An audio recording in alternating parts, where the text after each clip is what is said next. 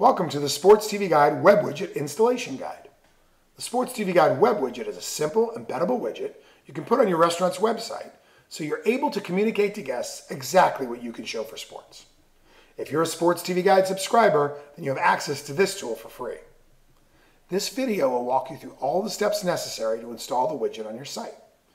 The schedule that appears in your widget will be the exact information that appears on your Sports TV Guide daily, minus the station names and channel numbers. So if you block certain sports or channels on your guide, it'll be blocked on your widget as well. In this video, we'll show you how to embed the Sports TV Guide web widget onto a WordPress site as an example.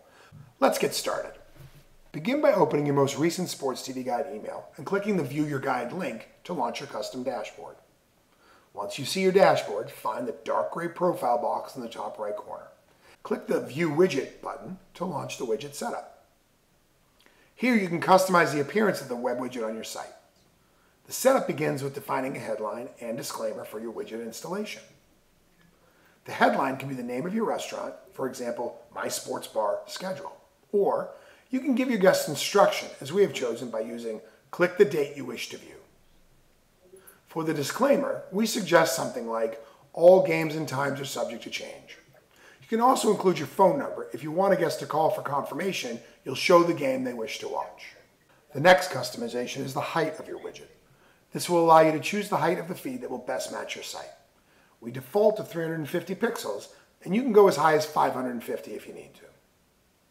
Next, make sure the domain matches the domain on your website, or else the widget won't work.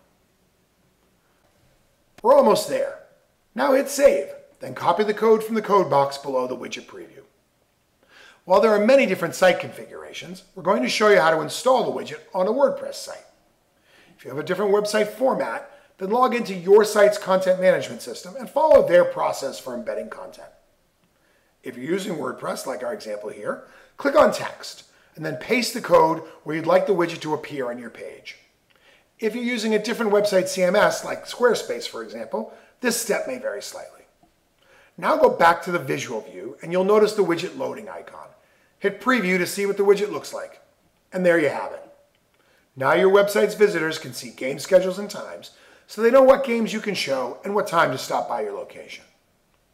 One of the most effective strategies for driving guests to this page on your site is to share it on your social media.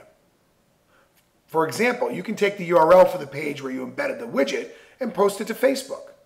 This gives your guest a reason to visit your site, as well as share the schedule with their friends.